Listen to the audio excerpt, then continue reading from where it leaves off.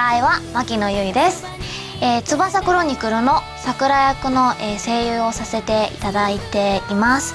そして、えーもしかしたら、えーこの作品知ってるよっていう方もいらっしゃるかもしれないんですけど NHK にようこそ、えーそして空をかける少女などなど、えー作品にいろいろ参加させていただいています。歌の方はですねアリアージアニメーション、えーその他続編のシリーズで歌を歌わせていただいたりもう他の作品でもいろんな歌を歌わせていただいている、えー声優そして、えーまあ、役者そして音楽をやっている、えーアーティストです。ということで今日のラインナップはゲームレビューそしてコンパイラーアニメ漫画リリースです。まずはノーライフニュースからご覧ください。さてどんなニュースがあるのでしょうか？どうぞ！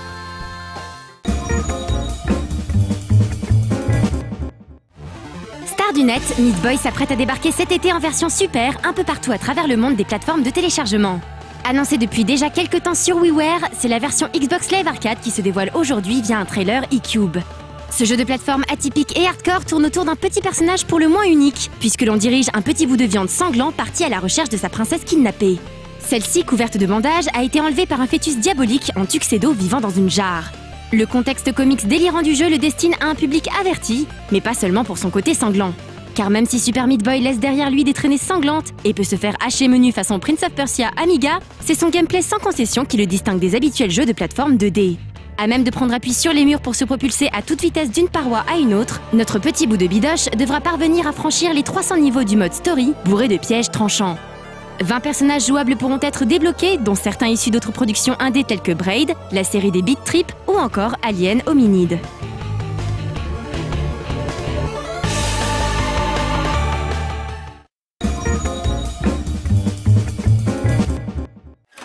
On continue notre petit tour des jeux XBLA avec Comic Jumper, les aventures du capitaine Smiley.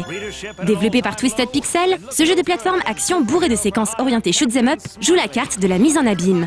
Le capitaine Smiley est ainsi secouru par l'équipe de développement responsable de Splosion Man et de The Mo. Pour aider le super-héros à redresser sa carrière, les développeurs lui confient une technologie permettant de sauter de comics en comics afin d'en corriger les scénarios bancals.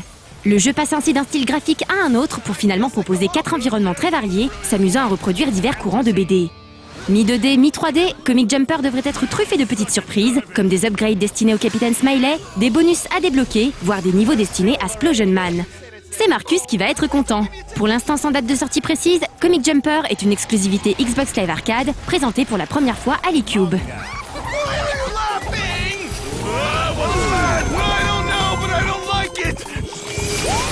Join Captain Smiley across the second and third dimensions as he jumps through 12 action packed levels. Hear music from award winning composers and meet a cast of over 40 unique characters. All a bunch of Neanderthals. Maybe it's a new friend. Take a break from fighting and hang out at Captain Smiley's base, where you can unlock over 200 special items, including two new levels for Twisted Pixel's smash hit, Explosion Man. Any genre, any crisis, Captain Smiley will save the day!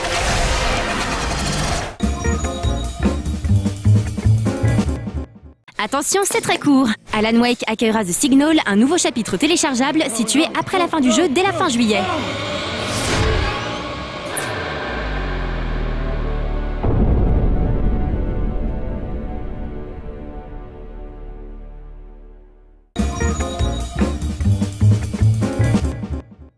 En découvrant cette vidéo de Monday Night Combat sur XBLA, difficile de ne pas songer ne serait-ce qu'un bref instant à Speedball ou Blood Bowl. Ce third-person shooter très cartoon se situe en effet dans le futur et met en scène un jeu télévisé ultra violent où tous les coups sont permis. L'objectif principal consiste en effet à se mettre le public dans la poche afin d'obtenir primes et sponsors. Ce faisant, il sera possible d'acheter de nouvelles armes et protections afin de mener à bien une carrière médiatico-sportive à haut risque. Six classes de personnages seront proposées ainsi que des modes multijoueurs, en versus ou en coop. Monday Night Combat est pour le moment encore sans date de sortie précise.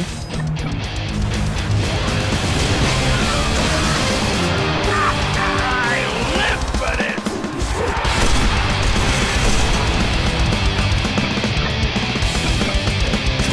Okay, kiss me.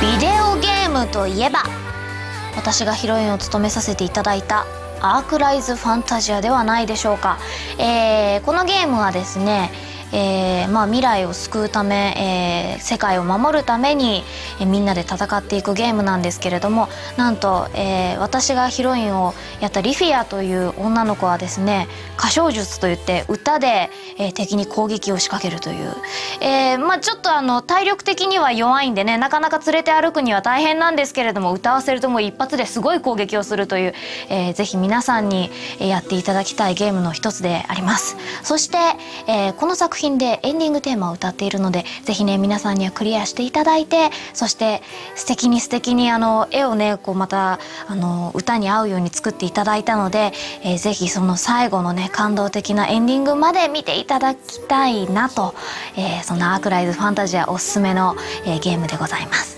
それでは本日のゲームレビューどうぞ。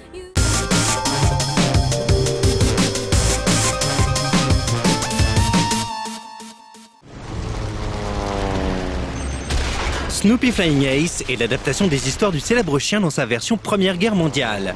Snoopy, alors juché sur sa niche, se battait contre l'infâme Manfred von Richthofen, plus connu sous le nom du Baron Rouge.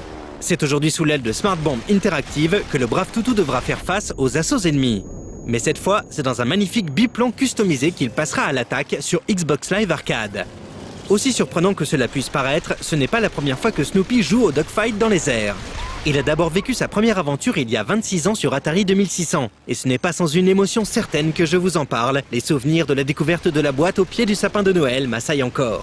À l'époque, il fallait combattre le Baron Rouge et récupérer divers objets qu'il avait volés. Transformez le 2600 en l'année 2006 et vous obtenez Snoopy vs The Red Baron, qui est sorti sur PSP, PS2 et PC par Namco Bandai. C'est la suite spirituelle de cette version qui nous est proposée aujourd'hui sur 360.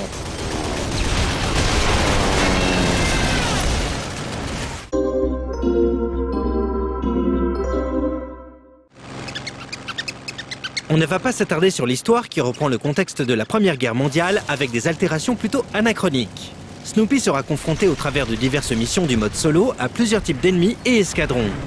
À la manière de UN Squadron version Super NES, une carte indiquera les différents objectifs dont certains sont mobiles. Il suffit alors de vous déplacer vers un objectif pour commencer une mission.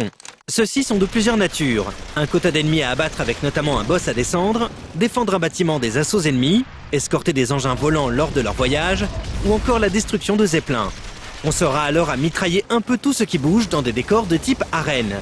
Cet environnement rappelle fortement le jeu Sega AM2 Propler Arena sur Dreamcast, qui proposait des combats aériens en arène à plusieurs, mais ce jeu, bien que terminé, ne vit jamais le jour à cause des attentats du 11 septembre. En effet, l'un des décors prenait pour cadre une ville et des buildings, ce qui ne passait pas du tout à l'époque. Snoopy Flying Ace fait également beaucoup penser à Crimson Sky sur Xbox, bien qu'il soit moins riche que ce dernier. Bon point, le jeu propose diverses thématiques pour les décors, désert, îles, glaciers, etc. Mais on regrettera que certaines maps soient un peu petites. Quant à l'habillage, il est léché et les menus transpirent la bonne finition.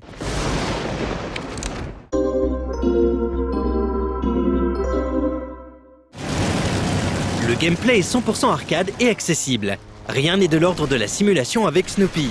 Un stick analogique sert à guider son biplan, l'autre est utilisé pour effectuer des figures telles que des loopings, des tonneaux ou un changement de direction rapide. Par défaut, l'avion est à une vitesse de croisière et deux boutons sont disponibles pour accélérer avec un boost ou au contraire freiner. Le pilotage n'est pas très contraignant. Si vous foncez dans un rocher ou sur l'eau, votre engin va rebondir. Au diable le réalisme, le fun avant tout. Deux types d'armes différentes, en plus du canon classique, sont installés sur le biplan.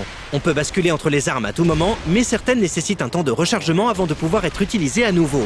Nuages toxiques, fusil à pompe, mitraillette ultra rapide, Big Bang, si les armes ne sont pas toutes très réalistes, elles ont le mérite de varier le gameplay et de rendre l'action plus stratégique en fonction des situations. A noter que lorsque le joueur meurt, il peut choisir de changer son couple d'armes secondaires avant le respawn. Le système de visée est assez généreux, même si votre ennemi n'est pas au pixel près dans votre viseur, vous pouvez faire mouche. Dans certaines arènes, des tourelles de tir ou DCA seront disponibles afin de mitrailler l'ennemi. Le premier arrivé dans la tourelle peut ainsi la contrôler, mais le joueur placé à l'intérieur n'est pas immortel et peut lui aussi se faire canarder. Le gros avantage étant que ces tourelles ont une puissance de feu bien supérieure aux avions et bénéficient d'un zoom pour mieux ajuster son tir. Niveau mode de jeu, c'est la fête. Solo, histoire ou multijoueur, en local ou en ligne, hébergement de parties privées, parties rapides, tout est hyper complet et fonctionne très bien. Les parties en ligne sont un régal, même si le niveau des autres joueurs est déjà très costaud. Le multi en écran splitté en local fonctionne bien, mais mieux vaut avoir un écran HD pour une meilleure lisibilité.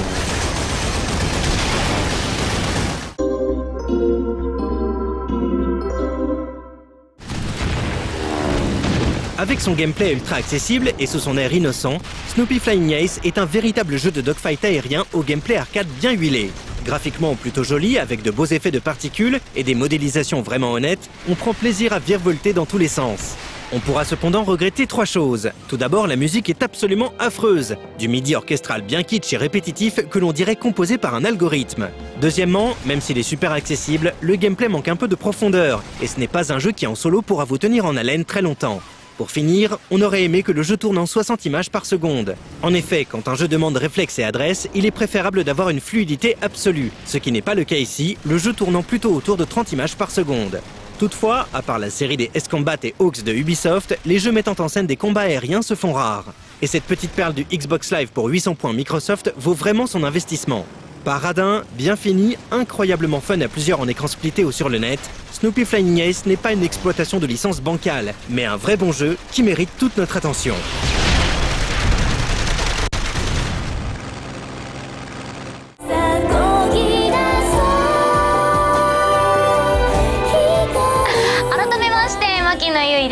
皆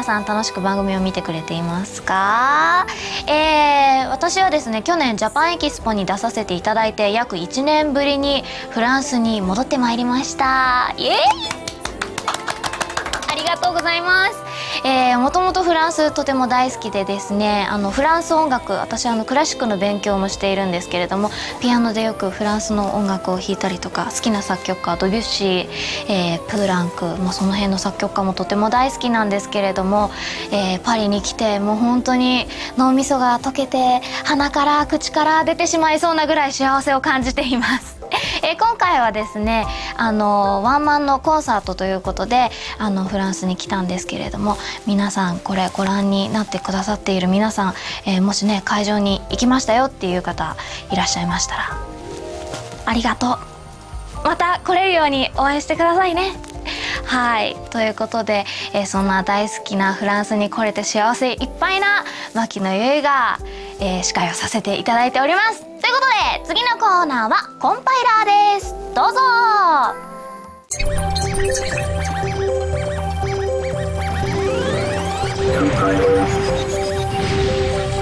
Même disque et sillon bleu.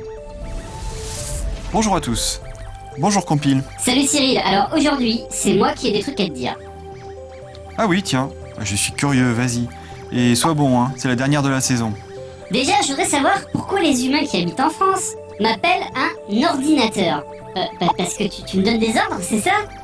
Aux US, ils appellent ça un computer. Un calculateur, quoi, c'est quand même mieux. Ben, c'est parce qu'en France, quand le terme computer a commencé à apparaître, l'Académie française a essayé de trouver un terme pour le traduire. Et ils ont inventé la traduction ordinateur. Alors je crois que l'idée de base, c'était que comme l'ordinateur était une machine très puissante, c'était une référence au grand ordinateur, à une espèce de divinité, quoi. Ah, une divinité euh, Ok, bon, euh, bah, ça me va finalement, c'est un peu mieux qu'une calculette. Mais bon, j'ai d'autres questions. Alors toi, tu parles français, n'est-ce pas? Et quand t'étais jeune, toi et les autres utilisateurs, vous avez traduit quasiment tous les mots de l'informatique à partir de l'anglais, non? Ça dépendait. Mais il y avait des mots qui avaient déjà leur traduction en français, mais on les utilisait jamais parce que c'était pourri. Par exemple, RAM et ROM étaient traduits MEV et MEM pour mémoire vive et mémoire morte. Listing était traduit listage, etc.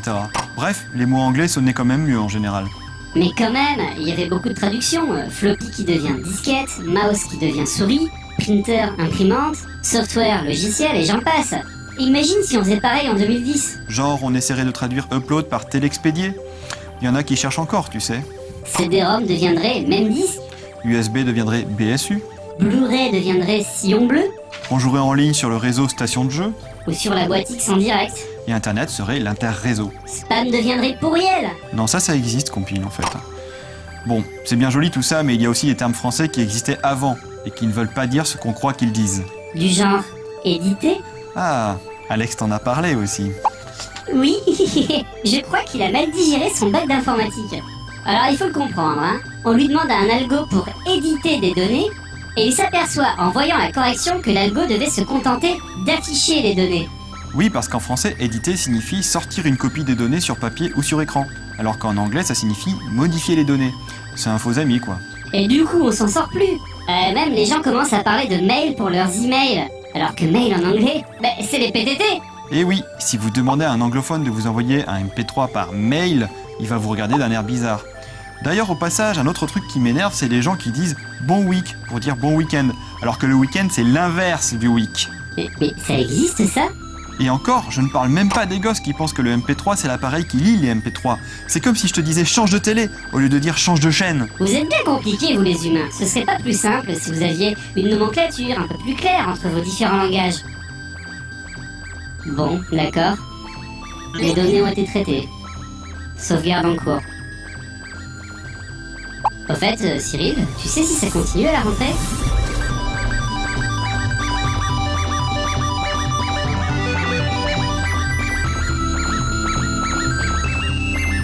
Non, parce que j'ai- pas de nouvelles quoi. Je sais que tu vois Alex un peu plus que moi. Et euh, là, tu vas te niquer le fond vert hein, si tu continues. Bon.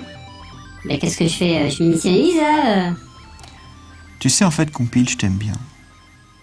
いな世界なのになぜだろうアニメ漫画リリースのコーナーです。漫画やアニメといえばさあそりゃもちろん私に聞くなら翼クロニクルでしょシャオランくん。みたいな。はいということで、えー最近読んでいる漫画はですねあの、ま、私があのいろんな役をさせていただく漫画は基本的に原作を読ませていただいているんですけれども「えっとニードレス」という作品だったり、まあ、翼はもちろん全巻持っていますけれども「アリア」という、えー作品だったりあとは「スケッチブック」という4コマ漫画があるんですけどそちらもかなりこう何でもない日常のことなんだけどとっても面白い分かりやすい漫画になっているのでぜひね皆さんの見かけることがあったらそちらも読んでみてはいかがでしょうか。おすすめの漫画はたくさんあります、えー、のだめカンタービルとかも私はとても大好きです。もしかしたらこっちでも流行ってるのかな。はい。ということで、えーではご覧ください。どうぞ。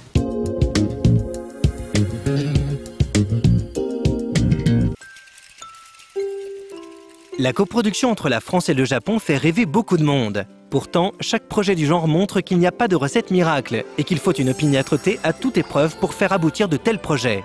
Le studio Madhouse s'est lancé dans l'aventure avec la France et la Thaïlande pour aboutir en 2009 à la sortie de Yona, la légende de l'oiseau sans ailes.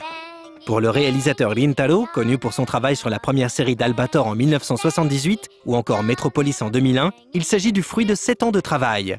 Le film raconte l'histoire d'une petite fille, Yona, qui vit seule avec sa mère. Elle est persuadée que les pingouins peuvent voler, comme son père le lui avait dit avant de mourir.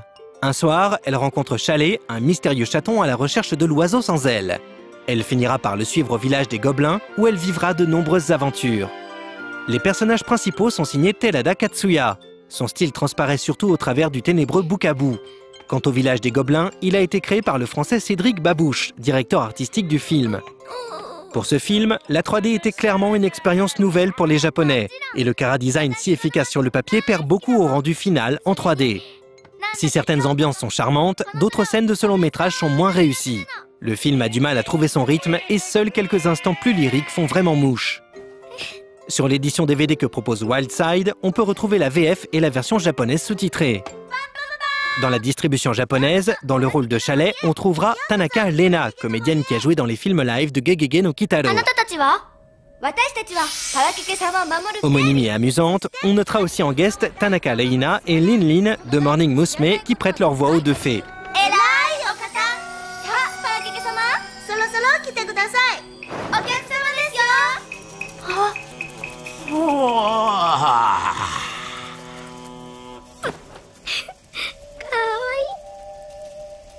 いいあれが大地の精霊さん僕も会うの初めてなんです。あの、 La VOSTF est très correcte, si ce n'est que le personnage principal, appelé Yona en VF, est appelé Coco dans les sous-titres, son nom japonais. La version française, réalisée par le studio Piste Rouge, convient parfaitement au film. L'interprétation de Clara Kilikini dans le rôle de la petite fille est tout à fait dans le ton. En bonus, ce DVD est vendu avec une affiche du film et pour les plus jeunes, un dessin à colorier. Dans l'édition spéciale FNAC se trouve un documentaire d'une trentaine de minutes, L'homme qui voulait faire voler les pingouins. Les principaux intervenants de la production du film y reviennent sur le travail qu'a représenté Yona. On peut aussi trouver le début du storyboard animé du film et le storyboard intégral en version PDF. À n'en pas douter, Yona est un joli film, mais il aura du mal à convaincre les spectateurs les plus exigeants à cause de son rythme quelque peu poussif et sa 3D parfois hésitante. Néanmoins, les plus jeunes passeront sans doute un agréable moment en compagnie de cette petite fille espiègle.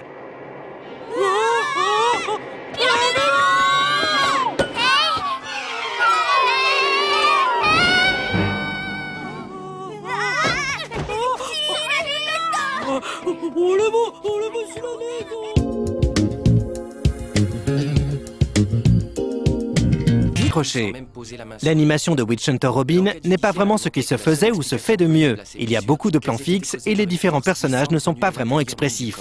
Il n'y a pas de comparaison possible avec le flamboyant Cowboy Bebop sorti 4 ans plus tôt chez Sunrise. Quoi qu'il en soit, cette fois-ci, il est évident que l'inspecteur chargé de l'enquête a monté de toutes pièces le rapport qu'on a là. Monté de toutes pièces